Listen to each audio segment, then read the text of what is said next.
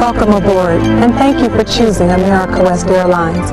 We take great pride in providing excellent service, and our in-flight team is committed to your comfort and safety.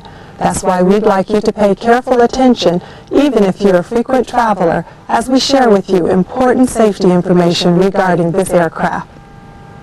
All carry-on items must be secured underneath the seat in front of you or stored in an overhead compartment. Please use caution when placing or removing items from the overhead bins. Detachable luggage wheels should only be stowed underneath the seat in front of you. Whenever the seatbelt sign is illuminated, please make sure that your seatbelt is fastened low and tight around your waist. To fasten, insert the metal fitting into the buckle and tighten by pulling the loose end away from you. To release, lift the metal flap. During the flight, the captain may turn off the seatbelt sign. However, for safety, we recommend that you keep your seatbelt fastened at all times. There are a total of eight emergency exits on this Airbus A320 aircraft, four emergency exit doors, two in the front of the cabin and two in the rear, and four over-wing exits. Please take a moment to locate the two exits nearest you, keeping in mind that your closest exit may be behind you. To open a door, move the handle in the direction of the arrow. Each door is equipped with an evacuation slide, which inflates automatically when the door is opened from inside. If the slide does not inflate automatically, immediately pull the red handle located at the base of the door.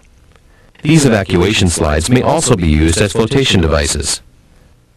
To open an over-wing exit, remove the safety cover and pull the handle down. The door should then be placed on the armrests to prevent blocking the exit.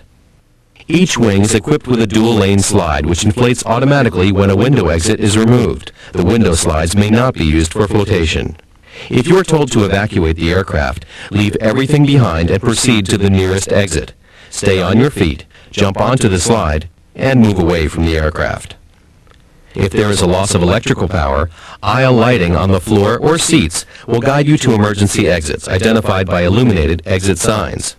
Should there be a rapid change in cabin pressure, individual oxygen masks will automatically drop from the compartment above your seat. Immediately pull the mask firmly toward you to start the flow of oxygen. Place the mask over your nose and mouth, securing it with the elastic strap over your head.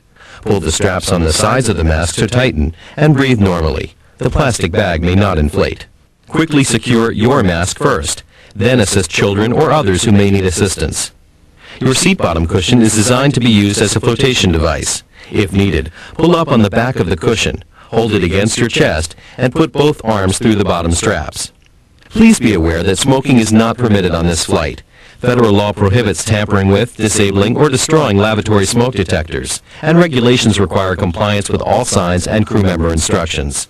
Please make sure that all electronic devices are turned off and stowed until we reach cruising altitude. Some devices, such as cellular phones, TVs, and radios, may not be used at any time during flight. We'd like you to take a moment to review the safety information card located in the seat pocket in front of you. It explains the safety features of our aircraft, as well as the location and operation of all exits. As we prepare for takeoff, remember that your seatback and tray table must be in their full upright and locked positions during taxi, takeoff, and landing. If there's anything we can do to make your flight more enjoyable, feel free to call on us. Thanks for your attention. On behalf of all of us at America West, thank you for choosing our airline.